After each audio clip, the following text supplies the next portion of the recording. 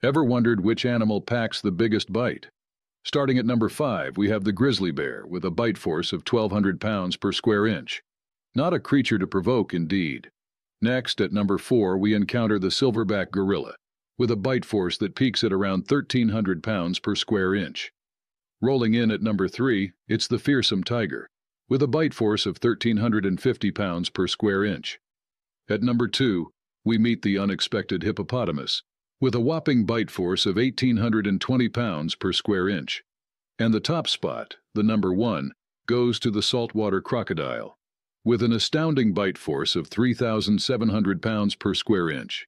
Remember, these incredible creatures aren't just about strength, they're part of our world's biodiversity. Respect and preserve. Until next time.